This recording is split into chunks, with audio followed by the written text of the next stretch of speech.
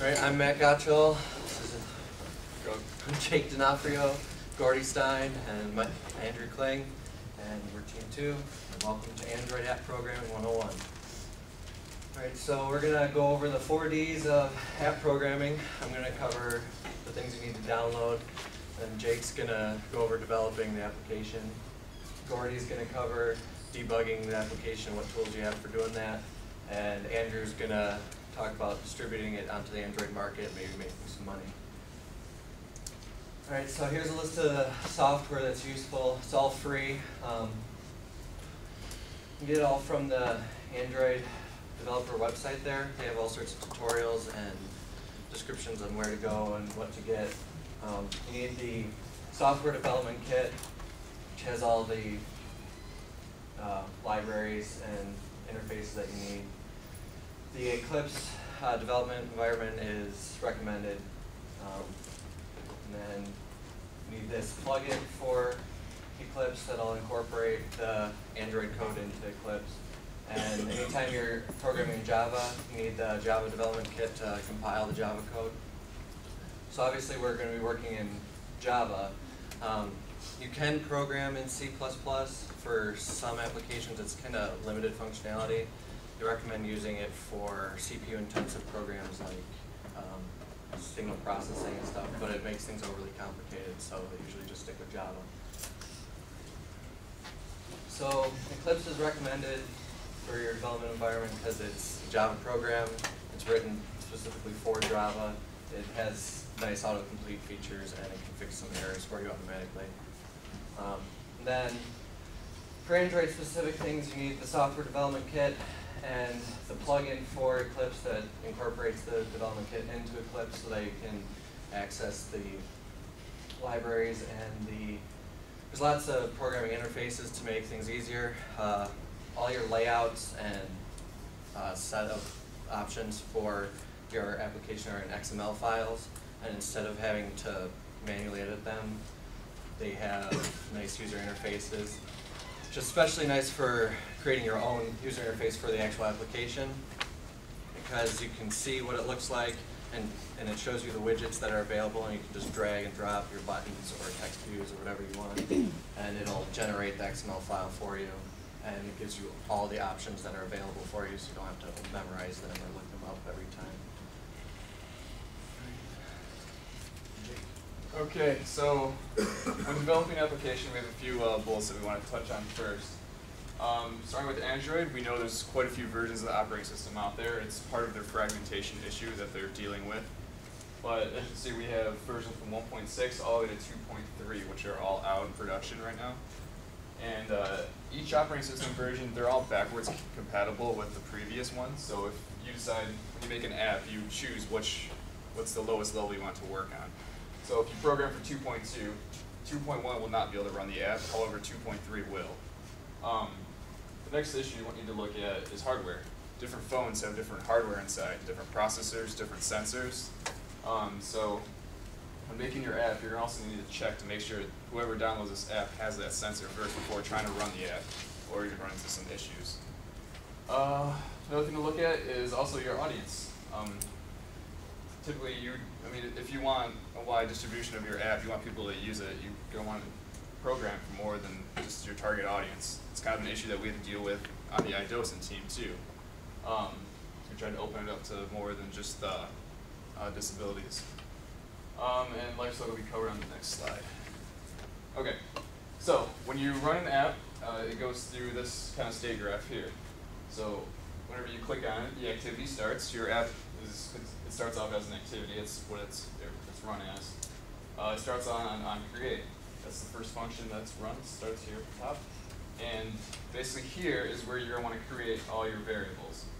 Uh, anything that's static, anything that needs to be um, ready for the app to run. Uh, after onCreate is finished, it's going to call onStart, which is the next function down. OnStart is simply where you it's it's called right before your app is actually displayed on your phone. So you want to start setting up your UI, your text views, any views that you need. You want them created, you want them uh, set up. After onStart is finished, it's going to call onResume. So it's going to keep going down the line. OnResume is actually, it, puts your application in the in the start uh, running state. Sorry, and uh, you're gonna want to. Uh, um, basically, this is this is your application running right now. So anything that changes is going to be implemented here. Um, so at this point, your your application is running. If you hit your home button on your phone, it's going to put it in the background, and you're actually going to call on pause. So your application is still running on your phone. It gets the pause state, and this is where you want to save the state, save any static variables, save any settings that your application is holding onto for when it starts again, or if you're just going to close it. Uh, after on pause is called, uh, your application is no longer visible. It's now at your home screen or it's at a different app depending on what you did. And on stop is called. On stop is anything that your CPU on your phone is doing needs to be stopped here, otherwise you're just wasting your battery power. So any sensors need to be turned off, anything that you're currently using. Uh, and from here, if you programmed it to um, just be destroyed at that point, this is where this is going to get called. Either that or it's going to go back around and hit on restart and your application come back to the front view of your phone. Um, I think that's it. Okay, so we're going to go through creating a basic hello world uh, application. It's the typical uh, starting starting point for any kind of programming language. But um, you can see here, this is Eclipse. We have a couple screenshots. Uh, when you create a new Android program, this is what I was talking about for different APIs. You choose the different um, different levels that you want. Um, so this one, we have 2.2 selected, and I just did uh, hello world. All right. So the application name obviously is pretty straightforward, and the package name is, is kind of a it's kind of a Java thing. It's how Java references all of its classes. Everything that's in your current project is going to be in that current package. But if you want to reuse code from before, you can actually add this package to your class path for Java when it compiles, and you can reference it using jacob.helloworld. whatever your class is, and you can reuse your code from before. Um, and then the create activity is actually your, the name of your app. So since it's hello world, I just called it hello world, and that's my activity. Okay. So uh, here's the hello world app. You can tell I added a total of three lines of code. Um, this is exactly what it looks like. It's going to be a black screen, which is just a standard text view with text at the top. Uh, in order to do this, um, I created our text view, which is one of many views that you can choose from. If you want to draw OpenGL graphics, 2D or 3D, it has its own view. If you want to draw pictures, you have a picture view. Um, and since I'm just using text, I have the text view. But as you can tell here, I just create the view, and I uh, set the text, and then I set it to display. That's all you have to do. Okay, um, we're going to go through a simple sensor example. So it's not exactly that complicated. Um, but just to start, um, you need to make your application. Uh, Java is very um, object-oriented, so what we need to do is we need to uh, um, implement the interface for the sensors. So every time your uh, your sensors um, change, they, you want to be able to call certain functions in your application. So that you have to implement the sensor event listener first. And then you also want to set up a sensor manager, which gives your application access to even use the sensors, which is being done right here. And so we just grab the system service for sensors, and then we have our sensor manager.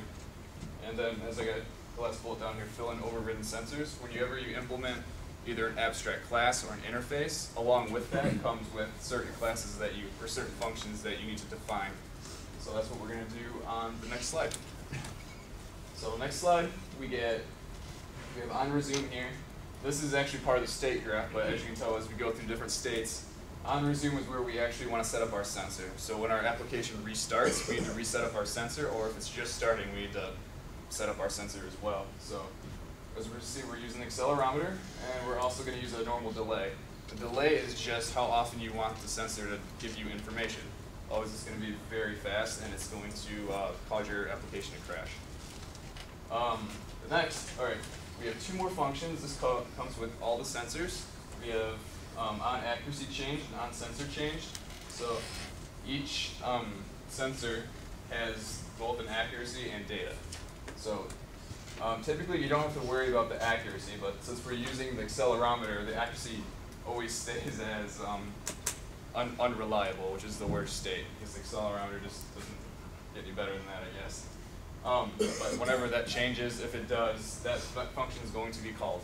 And that's where you can deal with whatever necessary changes you need to make for your application.